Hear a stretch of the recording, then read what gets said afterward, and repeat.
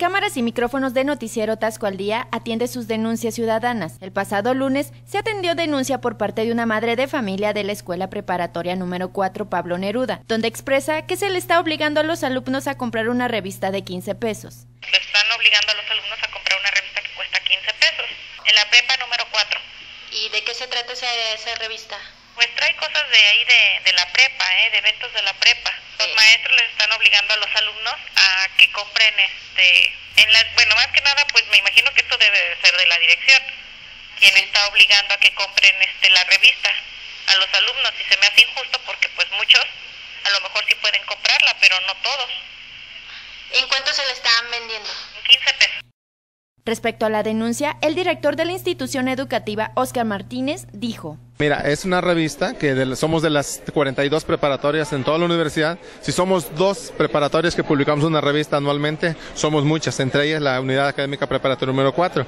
Lo único que se hace no se hace de manera obligatoria, se hace para recuperar los fondos que se invierten nada más en la revista y se hace a través de los muchachos y todos los muchachos cooperan la cantidad de 15 pesitos por una revista que no es el costo original de la revista, cuesta muchísimo más. Tú sabes que una revista de TV novelas, TV Nota vale arriba de 20 pesos y esta revista simple y sencillamente es una cuota de recuperación de 15 pesitos para cada uno de los alumnos y que los alumnos lo hacen de manera gustosa. Me hubiera gustado, este, me hubiera gustado mostrarte la revista para que la vieras para que la veas y es actividades de toda la escuela y es actividades que realizamos los maestros, que realizan los alumnos. Ahorita me van a traer la revista para mostrártela, para que la veas. Es una revista de, eh, interés cultural, deportivo, académico, de investigación y que esta revista tenemos 18 años.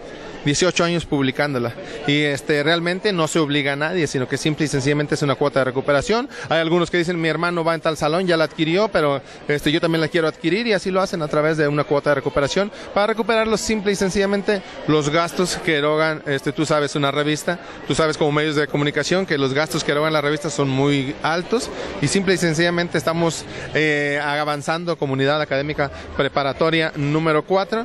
Mira, y la revista que este que te muestro es esta, es esta revista la que este, estamos nosotros este, publicando y van fotografías de todos los muchachos, van actividades de todos los muchachos que realizan a lo largo del año y de las diversas actividades que se realizan en la institución.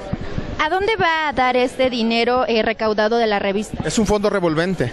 Es un fondo revolvente que tenemos para próximo año, volvemos a publicar la revista y volvemos a, este, a publicarla a través de esos mismos este, recursos que vamos recabando a través de esta revista. Mientras que uno de los alumnos argumentó.